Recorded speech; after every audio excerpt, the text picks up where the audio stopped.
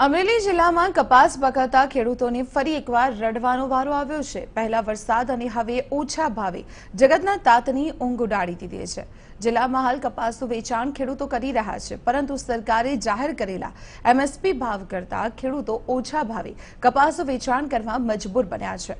દિવાળીના તહેવારને લઈ પૈસાની જરૂર હોવાથી છસોથી આઠસો રૂપિયામાં પણ ખેડૂતો કપાસ વેચવા મજબૂર બન્યા છે.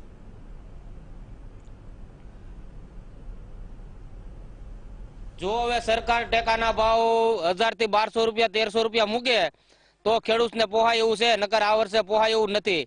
કેમ કે હાવ કપાનું ઉત્પાદન ઓછું આવવાનું છે અને કપા બધાને હાવ બગડી ગયો છે આ વર્ષે હાવ. તો સારા વરસાદથી સારા ઉત્પાદનની આશા, ખેડૂતોને બંધાઈ હતી, પરંતુ અંતિમ તબક્કામાં સતત વરસાદથી પાકમાં વ્યાપક પ્રમાણમાં નુકસાન થયું છે. કપાસમાં પાણી ભરાતા જીવડા પણ સડવા લાગ્યા છે અને જીવાત આવી ગઈ છે, જેના કારણે અડધું ઉત્પાદન પણ મળે તેમ નથી. તેની વચ્ચે સરકારે કપાસના એનએસપી ભાવ જાહેર કરતા ખેડૂતોએ રાહતો શ્વાસ લીધો હતો. પરંતુ હાલ ખેડૂતો સરકારે નક્કી કરેલા એમએસપી ભાવ કરતા પણ ઓછા ભાવે કપાસનું વેચાણ કરવાનો વારો આવ્યો છે. ત્યારે ખેડૂતો કપાસનો ભાવ પંદરસો કરવા સરકાર પાસે માંગ કરી રહ્યા છે.